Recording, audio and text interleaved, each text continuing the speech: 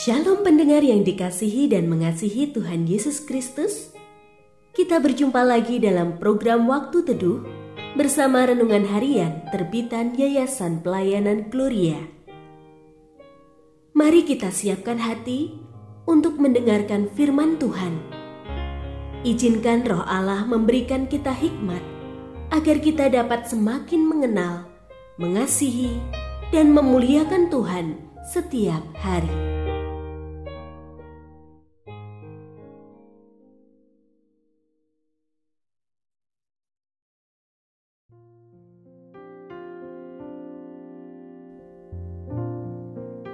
Bagian firman Tuhan yang akan kita baca hari ini adalah dari Mazmur pasal 27. Saya akan membacakan sebagian daripadanya.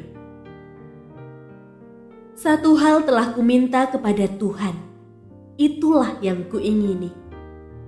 Diam di rumah Tuhan seumur hidupku, menyaksikan kemurahan Tuhan dan menikmati baitnya sebab ia melindungi aku dalam pondoknya pada waktu bahaya. Ia menyembunyikan aku dalam persembunyian di kemahnya. Ia mengangkat aku ke atas gunung batu. Maka sekarang tegaklah kepalaku mengatasi musuhku sekeliling aku. Dalam kemahnya aku mau mempersembahkan korban dengan sorak-sorai.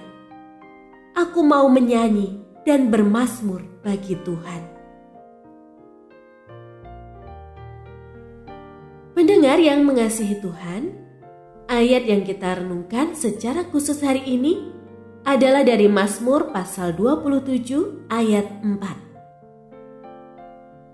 Satu hal telah kuminta kepada Tuhan, itulah yang kuingini.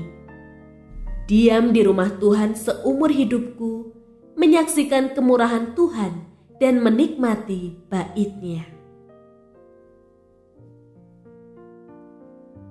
Renungan hari ini berjudul Satu Keinginan. Seorang teman menceritakan keinginannya. Aku akan mengambil jatah cutiku di akhir tahun.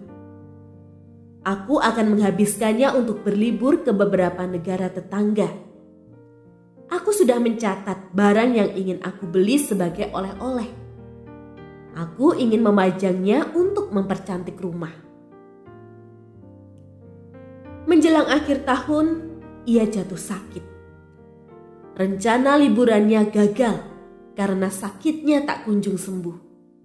Maka katanya, aku tidak menginginkan hal lain selain kesembuhan. Orang sehat bisa memiliki seribu keinginan, tetapi orang sakit hanya memiliki satu keinginan: sembuh. Layaknya orang sakit yang merindukan kesembuhan, inilah yang dilakukan oleh Daud. Daud merupakan salah satu raja terhebat dan terbaik.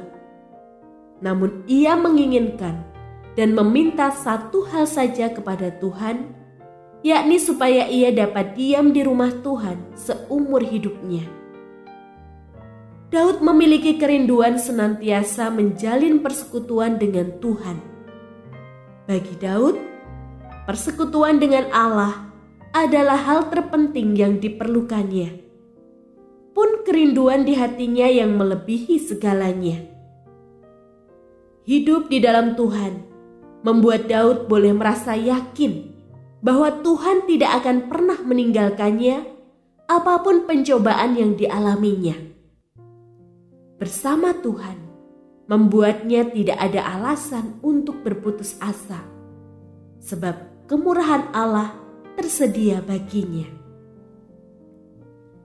Ketika kita membangun relasi dengan Tuhan melalui doa yang sehat dan senantiasa bergantung kepadanya, kita boleh selalu merasa optimis dalam segala keadaan.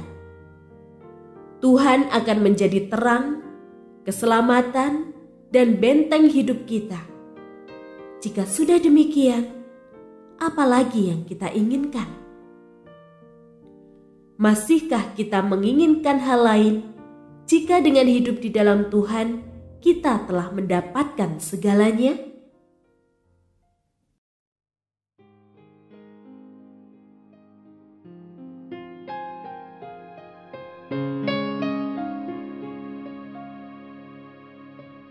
Pendengar yang mengasihi Tuhan, apakah Anda diberkati melalui renungan harian? Jadilah berkat dengan mendukung pelayanan kami. Dukungan Anda dapat disampaikan melalui rekening Bank BCA nomor 45 65 atas nama Yayasan Pelayanan Gloria. Informasi lebih lanjut mengenai renungan harian dapat dilihat di situs web kami renunganharian.net. Tuhan Yesus memberkati dan menjadikan Anda berkat di hari istimewa ini. Shalom.